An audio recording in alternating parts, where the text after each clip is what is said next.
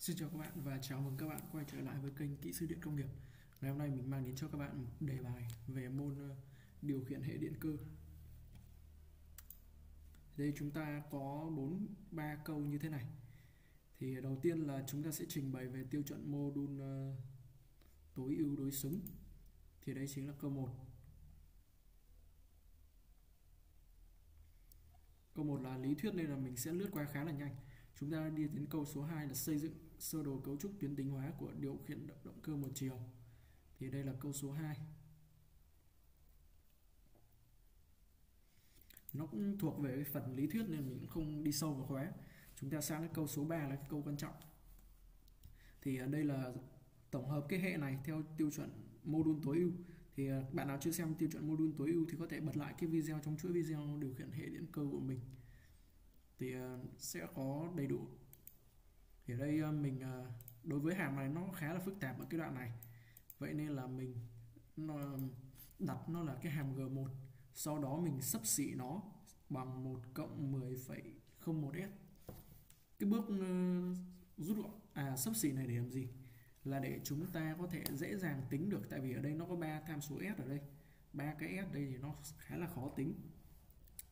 Sau khi có hàm g rồi thì bây giờ mục đích của chúng ta là đi tìm hiểu cái bộ điều khiển à, tìm cái bộ điều khiển PID xem nó là cái bộ nào.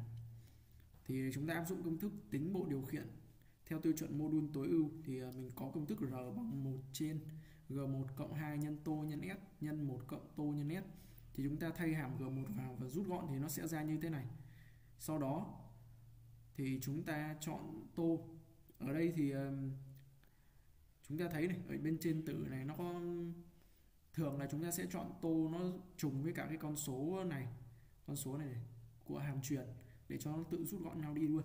Thì đây mình cũng chọn như vậy tô bằng 10,01 thì sau khi rút gọn thì chúng ta còn lại bộ điều khiển R bằng 25 trên ờ, 1001 nó chính là cái bộ điều khiển P. Vậy bộ điều khiển R là bộ điều khiển P với hệ số KP bằng 25 trên 1001 khi mà ta chọn tô bằng 10,01 và à, cái hàm G1 chúng ta sắp xỉ nó bằng ờ, 2 trên S nhân 1 cộng 10,01S thì sau khi ờ, mà tính xong thì mình vẽ lại cái sơ đồ cấu trúc của cái hàm hàm kín đó. Quay trở lại với đề bài chúng ta đã tổng hợp xong này. Tiếp theo này hệ kín sau khi tổng hợp có các hệ số các hệ số C0 C1 C2 này chính là các hệ số sai lệch. Thì để tìm được các hệ số sai lệch thì chúng ta trước tiên, chúng ta sẽ phải đi tìm được cái hàm hàm truyền kín của hệ. Thì đây mình có công thức F bằng R nhân G trên 1 cộng R nhân G. Thì ở đây sau đó mình thay thế các công thức vào và rút gọn.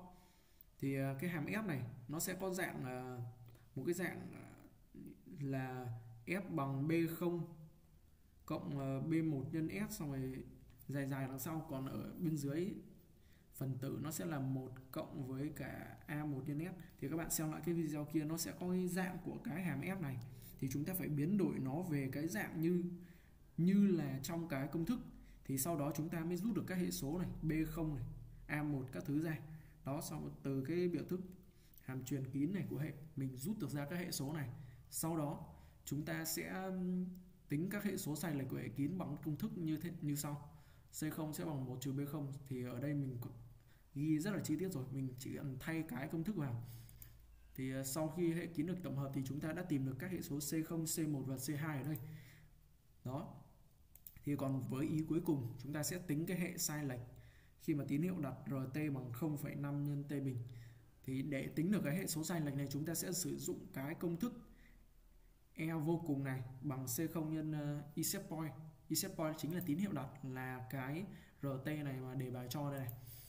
Đó, thì cộng với cả C1 nhân di I set point cái này tức là sao?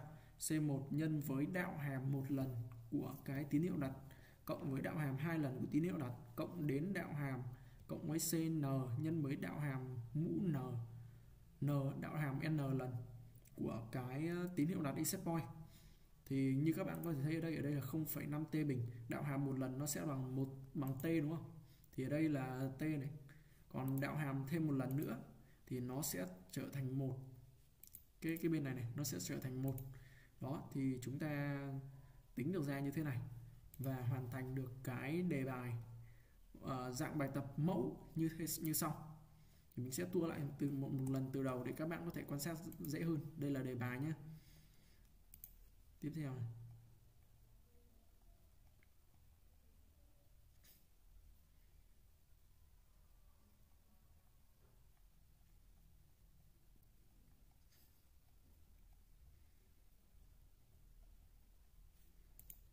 Quảng cáo một chút, thì ở trên kênh của mình có rất nhiều các ờ, chuỗi video mà các bạn có thể sẽ quan tâm. Ví dụ ở đây là danh sách phát như là xử lý số tín hiệu này, điều khiển quá trình hoặc là điều khiển hệ điện cơ bảng các nô bảng các nô. Cái video mà các bạn đang xem nằm trong ờ, chuỗi video ờ, qua môn điều khiển hệ điện cơ. Và ở đây mình có một chút về MATLAB. À, ở đây mình có thêm một vài cái nữa ví dụ như là uh, vi điều khiển này hay là hay là đây có thể gọi là môn uh, xử lý số tín hiệu. Tiếp theo là cả điện, điện tử công suất nữa và lý thuyết mạch. Thì uh, video mình làm khá là nhiều thì các bạn có thể vào đây để ờ, mình cũng chia màu tất cả các video này để cho các bạn dễ xem. Thì ờ, các bạn cứ vào đây và tìm xem những video nào mà các bạn cảm thấy phù hợp với các bạn. Thì ờ, hãy xem chúng. Mình tin rằng nó sẽ có ừ, ích cho các bạn. Nếu mà các bạn cần liên hệ hay là cần hỏi bài các thứ thì mình sẽ hỗ trợ trong cái khả năng của mình thôi. Thì các bạn liên hệ, các bạn sẽ ấn vào một cái video bất kỳ. Ví dụ mình ấn vào video này. Xin chào các bạn sẽ chỉ tìm thấy ờ, cái liên hệ ở bên dưới phần ờ, mô tả đây.